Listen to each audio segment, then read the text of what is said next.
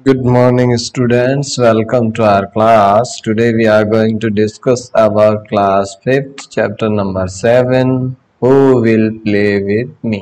आज अपन राजस्थान बोर्ड की कक्षा पाँच का सातवां पार्ट जिसका टाइटल है who will play with me यानी मेरे साथ कौन खेलेगा इस चैप्टर को अपन पढ़ेंगे जिसमें एक स्टूडेंट की कहानी है, आपके जैसा ही एक स्टूडेंट है, जिसकी स्टोरी है, देखो who will play with me who का मतलब होता है कौन?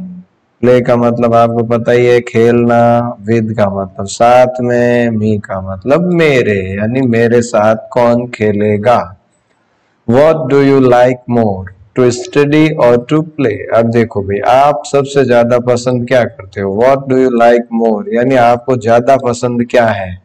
टू स्टडी पढ़ाई करना और टू प्ले या खेलना ज़्यादा पसंद क्या है खेलना पता मुझे पढ़ाई भी होना चाहिए what will happen if you spend all your time on playing and don't study what will happen यानी क्या होगा इफ़ यानी यदि यू स्पेंड आप बिताओ ऑल ऑफ़ योर टाइम आपका पूरा समय, अपना पूरा समय आप बिता दो ऑन प्लेइंग खेलने में एंड डोंट स्टडी और बिल्कुल पढ़ाई नहीं करो। वे क्या होगा अगर आप अपना पूरा का पूरा समय खेलने में बिता दो और पढ़ाई बिल्कुल भी नहीं करो तो क्या होगा? पता ना? वेरी गुड बड़े समझदार बच्चे हो। चलो अब अपन स्टोरी शुरू कर दें देखो। दिस इज़ ए स्टोरी यानी यह एक कहानी है। अबाउट अ बॉय किसके बारे में? अबाउट अबाउट का मतलब बारे में। अ बॉय बॉय का मतलब बालक के। हु हु का मतलब जो। डज नॉट लाइक पसंद नहीं करता। टू स्टडी पढ़ना. एट ऑल बिल्कुल भी। ये एक ऐसे बालक की कहानी है जो कि पढ़ाई को बिल्कुल भी पसंद नहीं करता। All day he meets some creatures. All day यानी सॉरी वन डे एक दिन ही मीट्स वो मिलता है सम कुछ क्रिएचर्स यानी जानवरों से एंड देन और उसके बाद ही चेंजेस वो बदल जाता है। एक दिन वो कुछ जानवरों से मिलता है और वो बदल जाता है। Why does he changes change himself? Why does he change himself? वो अपने आप को क्यों बदलता है? क्या कारण है? लेट्स फाइंड आउट लेट्स यानी आओ फाइंड आउट का मतलब खोजें, ढूंढें, जाने। आओ जाने, ऐसा कौन सा कारण है जिससे कि वो अपने आप को बदल लेता है?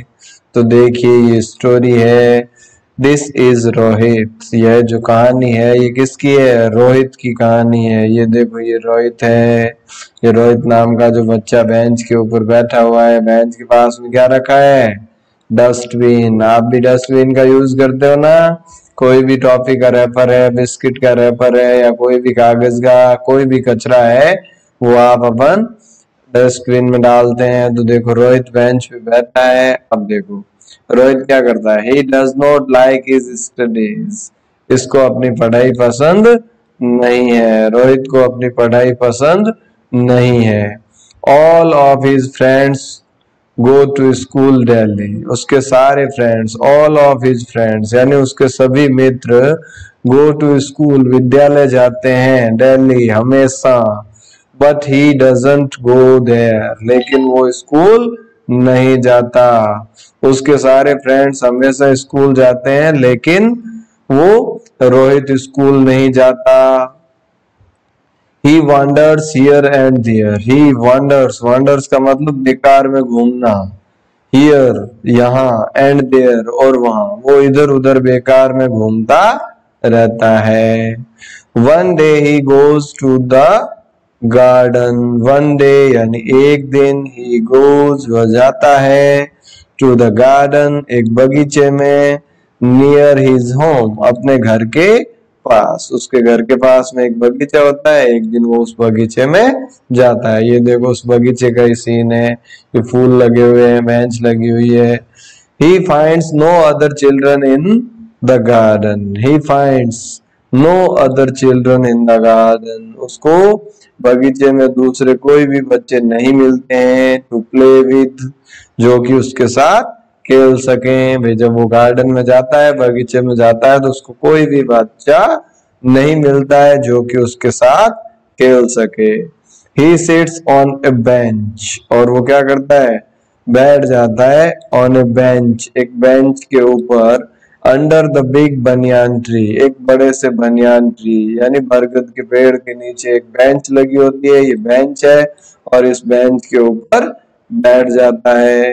आफ्टर सम टाइम कुछ समय बाद ही नोटिस यानी वो देखता है अ पिकॉक एक मोर को, जो कि क्या करता है डांसिंग यानी नाच रहा होता है। कुछ समय बाद वो एक मोर को देखता है जो कि नाच रहा है near the flower bed near यानी पास में द फ्लावर बेड यानी फूलों की जो बेल है, फूलों की जो लता है, उसके पास में वो नाच रहा है।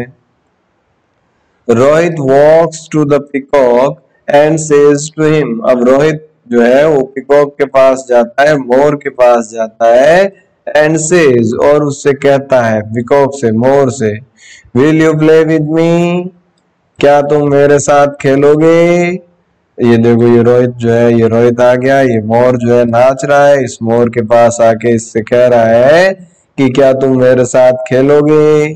द पीकॉक सेज अब मोर कहता है, मोर क्या कहता है, देखो आई एम बिज़ी भाई, मैं अभी बिज़ी हूँ, मैं अभी व्यस्त हूँ आई एम डांसिंग मैं नाच रहा हूँ so I can not play with you इसलिए मैं तुम्हारे साथ नहीं खेल सकता। अभी मैं नाच रहा हूँ, इसलिए मैं तुम्हारे साथ नहीं खेल सकता। Then Rohit meets a dog और उसके बाद रोहित मिलता है किससे? अ डॉग यानी एक कुत्ते से। ही आस्क हिम अब रोहित उससे कुत्ते से पूछता है will you play with me क्या तुम मेरे साथ खेलोगे? ये देखो, सबसे पहले रोहित ने किससे पूछा? मोर से पूछा कि भी क्या तुम मेरे साथ खेलोगे? लेकिन मोर ने क्या कहा कि मैं नाच रहा हूँ, बिज़ी हूँ, मैं तुम्हारे साथ नहीं खेल सकता। फिर कुत्ते से कहा तो कुत्ता क्या कहता है वापस देखो द डॉग से यानी कुत्ता कहता है आई एम बिज़ी मैं बिज़ी हूँ। I am looking after my master's house और मैं क्या कर रहा हूँ? लुकिंग आफ्टर का मतलब देखभाल कर रहा हूँ। माई मास्टर्स हाउस अपने मालिक के घर की। भी मैं अपने मालिक के घर की देखभाल कर रहा हूँ। So I can not play with you इसलिए मैं तुम्हारे साथ नहीं खेल सकता। तो देखो, पहले मोर ने मना किया, अब कुत्ते ने भी मना कर दिया। He happens to see a parrot crow sparrow and horse और इसी प्रकार से जो है वो आगे जाता है, उसको एक तोता मिलता है, उसको कौवा मिलता है, चिड़िया मिलती है और और यानी घोड़ा भी मिलता है। He ask them the same question और वो सभी से वही प्रश्न पूछता है। कौन सा प्रश्न? सबसे क्या प्रश्न पूछता है वो? Will you play with me क्या तुम मेरे साथ खेलोगे? अब देखो सारे क्या आंसर देते हैं। वी आर बिज़ी यानी हम क्या हैं? बिज़ी हैं, व्यस्त हैं। We have many things to do हमें बहुत सारा काम करना है। मैनी थिंग्स यानी बहुत सारा काम करना है टू डू करने के लिए। हमारे पास बहुत सारा कार्य है करने के लिए। We can not play with you हम आपके साथ नहीं खेल सकते। भी हम तुम्हारे साथ नहीं खेल सकते। दे रिप्लाई सभी ने यही उत्तर दिया। अब देखो सबने उसको क्या जवाब दिया? कि भाई हम सब क्या है बिज़ी हैं, हमारे पास बहुत सारे काम है करने के लिए, इसलिए हम तुम्हारे साथ नहीं खेल सकते।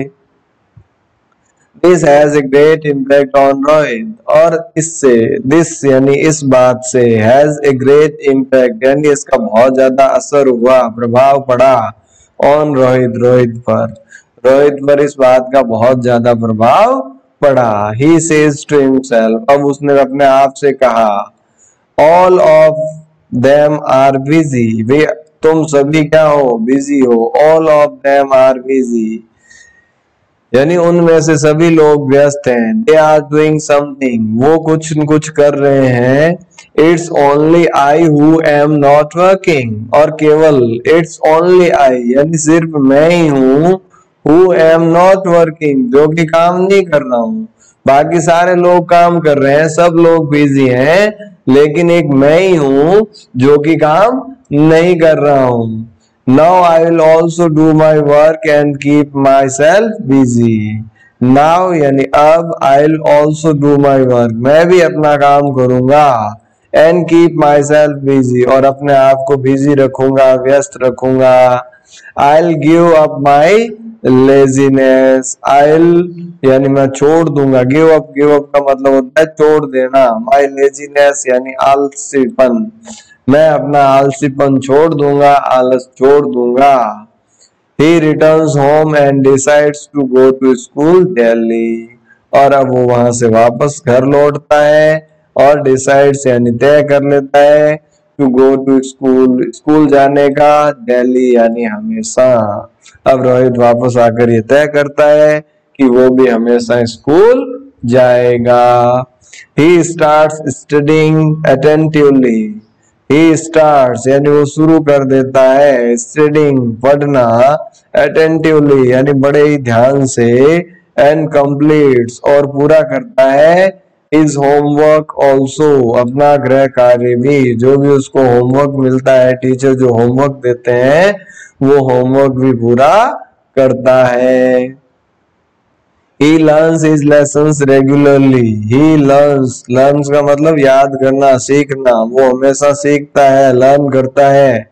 His lessons, अपने पाठों को regularly, यानी नियमित रूप से in द इवनिंग और शाम के समय he goes to the playground. वो मैदान में जाता है and finds his friends there और उसको वहाँ उसके मित्र मिल जाते हैं। ही प्लेज विद देम वो उनके साथ खेलता है फॉर अबाउट एन आवर लगभग एक घंटे तक। अब देखो, दिन में स्कूल जाता है, वापस आके अपना काम करता है और शाम के समय मैदान में खेलने के लिए चला जाता है, जहाँ की उसको उसके दोस्त मिलते हैं और लगभग एक घंटे तक वो वहाँ पर खेलते हैं। आफ्टर रिटर्निंग होम अब घर लौटने के बाद क्या करते हैं, देखो ही टेक्स इज़ डिनर वो अपना डिनर करता है, यानी शाम का भोजन करता है। देन रिवाइज और उसके बाद रिवाइज रिवाइज का मतलब क्या है? फिर से रिवाइज करना, याद करना, दोहरान करना। किस चीज़ का? What he studied at school way school में उसने क्या पढ़ा? वो सारी की सारी चीज़ें क्या करता है वो? डिनर के बाद वापस रिवाइज करता है। अब देखो, रोहित क्या था? पहले उसका रूटीन क्या था? स्कूल नहीं जाता था, इधर उधर भटकता था, घूमता था। लेकिन जब सभी ने उसको मना कर दिया खेलने के लिए तो उसको भी लगा कि मुझे भी अपना काम करना चाहिए। और वो रोज स्कूल जाने लगा। अब स्कूल जाने के बाद उसका रूटीन क्या हुआ देखो। जैसे स्कूल से घर आता, पहले अपना काम पूरा करता और काम पूरा करने के बाद शाम के समय एक घंटे तक खेलने के लिए जाता और वापस आके डिनर करने के बाद, यानी भोजन करने के बाद वो वापस जो भी उसको स्कूल में पढ़ाया गया था, उसको वापस रिवाइज करता, यानी फिर से उसका दौरान करने लगा। With this change in his behaviour और उसके बिहेवियर का मतलब होता है व्यवहार। उसका जो ये व्यवहार था, इस व्यवहार में इस प्रकार का बदलाव जो है is now liked by everyone is now liked यानी अब पसंद किया जाने लगा बाय एवरीवन हर किसी के द्वारा। सब लोग अब उसके व्यवहार को पसंद करने लगे। आप भी अगर पढ़ोगे तो सबके लाडले बनोगे। सब लोग आपको प्रेम करेंगे, चाहेंगे कि वे बच्चा पढ़ रहा है, बेटी पढ़ रही है, इस तरीके से आपको भी नियमित रूप से अपनी पढ़ाई को कंटिन्यू करना है। His teachers praise him his teachers यानी उसके टीचर्स जो थे, शिक्षक जो थे प्रेज प्रेज का मतलब होता है प्रशंसा करना। हिम उसकी, उसके टीचर भी उसकी प्रशंसा करते थे पेट थपथपाते थे, शाबाशी देते थे। फॉर इज़ पंक्चुअलिटी पंक्चुअलिटी का मतलब होता है नियमित रूप से काम करना, समय पर काम करना। समय पर हर चीज़ करने के लिए, उसकी पंक्चुअलिटी के लिए टीचर भी उनके पेट थपथपाते थे, शाबाशी देते थे। And his parents feel proud of him और उसके पेरेंट्स यानी उसके जो मम्मी पापा थे, वो फील यानी महसूस करते थे प्राउड यानी गर्व ऑन हिम उस पर। उसके पेरेंट्स उसके मम्मी पापा उस पर गर्व महसूस करते थे कि भाई हमारा बेटा बहुत प्यारा है, बहुत लाडला है। तो उसी प्रकार से आप भी जो भी बेटा या बेटी हो, अपने पेरेंट्स के लिए बहुत लाडले हो तो आपको भी ऐसे काम करने चाहिए जिनसे कि आपके ऊपर भी आपके पेरेंट्स प्राउड करे, गर्व फील कर सके। आई होप आपको ये चैप्टर समझ में आया होगा। इसको एक बार बुक में वापस रीड करें, जो भी नहीं पढ़ने में आ रहा उसको दोबारा सुने और बार बार प्रैक्टिस करें ताकि आप आसानी से किताब पढ़नी भी सीख जाएँगे और इसको अच्छी तरीके से समझ लेंगे। अब ये जो ग्लोसरी वाला पार्ट है, ये आपको अपनी नोटबुक में लिखना है और इसके साथ साथ आपको लर्न भी करना है। ये सारी स्पेलिंग लर्न करनी है और इनका मीनिंग भी लर्न करना है कि इनका मतलब क्या होता है? इसी के साथ आज के सेशन को यहीं समाप्त करते हैं। थैंक यू जय हिंद जय भारत